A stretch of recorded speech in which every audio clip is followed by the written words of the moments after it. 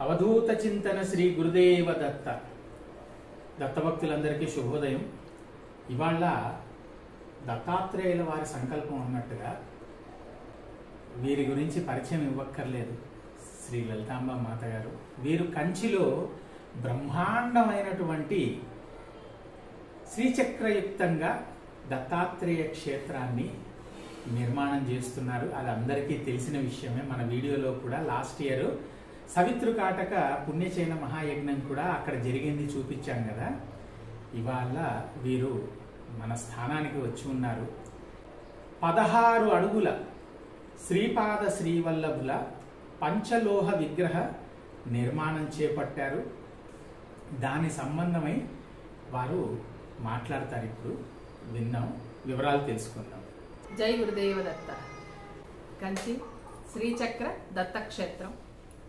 శ్రీపాద శ్రీవల్లభుని ఆజ్ఞానుసారం ఇక్కడ కంచిలో ఆయన చూపించిన స్థలంలో నిర్మాణం జరుగుతుంది. స్వామివారు ఆదేశించిన ప్రకారం పదహారు అడుగులు పంచలోహ విగ్రహం శ్రీపాద శ్రీవల్లభునిది. ఎందు ప్రతిష్టాపన కార్యక్రమం జరుగుతుంది. ఇప్పుడు స్వామివారు తయారవుతున్నారు. అయితే ఇప్పుడు మోల్డింగ్ వరకు వచ్చింది స్వామివారి విగ్రహం.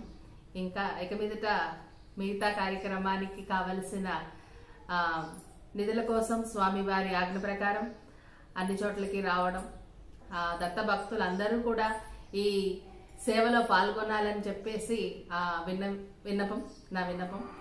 అయితే శ్రీపాద శ్రీవల్లభుడు ఎప్పుడు కూడా నాకు చాలా పెద్దగా నన్ను చేయించు పెద్దగా నన్ను చేయించు అని చెప్పి చెప్తూ ఉంటారనమాట అయితే ఐదు సంవత్సరాల నుంచి చూపిస్తున్నారు కానీ పదహారు అనే సంఖ్య ఇప్పుడు గత రెండు సంవత్సరాల ముందే నాకు తెలియజెప్పారు. అది కూడా స్వామివారిని రాతి విగ్రహంలో చేయించాలా? లేదంటే పాలరాతి విగ్రహమా? పంచలోహమా? కూడా ఆయనే నిర్ణయించారు. పదహారు అడుగులు ఎందుకంటే మనం ఆత్మ సాక్షాత్కారం పొందేటప్పుడు మనలో ఉన్న పదహారు కళలు ఆ దత్తునిలో ఐక్యమై మనకి జీవన ముక్తిని అందిస్తాయి అని చెప్పేసి శ్రీపాద వల్లభుడు చరితామృతంలో మనం అందరం చదువుతాము. శ్రీపాద వల్లభుడు పదహారు అడుగుల పంచలోహ విగ్రహం ఎక్కడ ప్రతిష్ఠించమని అడిగితే అక్కడ ధ్యాన మండపం శ్రీచక్ర ఆకృతిలో ధ్యాన మండపం నిర్మించు అని చెప్పి ఆదేశించారు.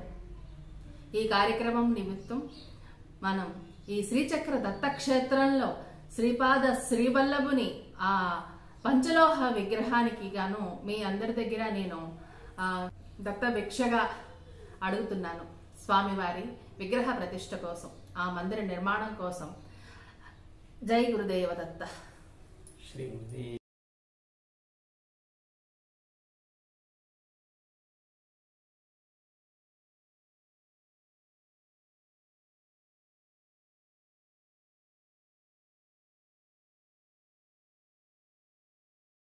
eight nine three nine five double nine double one nine.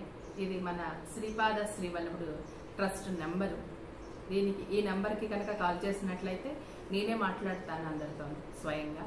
మీ అందరి గోత్రనామాలు కూడా ఎవరైతే ఈ దత్త భిక్షను ఇస్తున్నారో అందరూ కూడా మీ గోత్రనామాలు ఇవ్వండి. అందరి పేరున తరపున నా హృదయపూర్వక నమస్కారాలు. జై గురుదేవ దత్త.